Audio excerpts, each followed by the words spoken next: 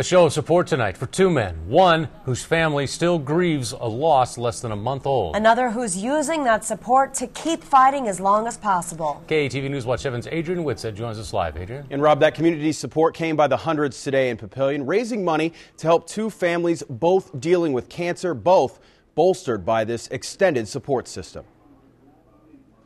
Dave McAnulty spent 28 years as a Sarpy County deputy.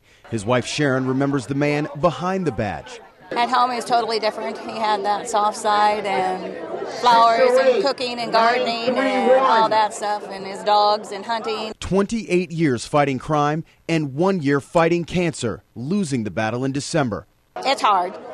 It's very hard. Um, very emotional today to see all the people here, and um, but very heartwarming to see how much the community has come out to support everything. Sunday's meal, raffle prizes, and silent auction gifts willingly donated. Everybody helping each other out. It gives you a great feeling inside, and I'm sure those families are touched. I'm touched, and the public should be very proud of themselves for showing that support. Also supporting another deputy in his fight. I've had two craniotomies so far, and then I have how many? Three tumors in there now. Seven year veteran Ryan Fawcett and family supported at church and the community he helped serve. It keeps Ryan looking to the future.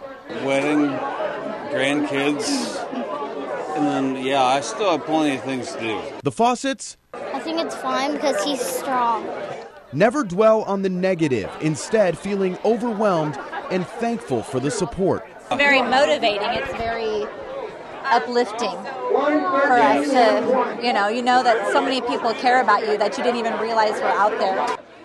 Overwhelming, really, the word of the day. And to give you another idea about just how much support there was, Sheriff Jeff, Jeff Davis told me last month a retired captain passed away. His wife took the money she received for his memorials and donated it to the Fawcett and McAnulty families.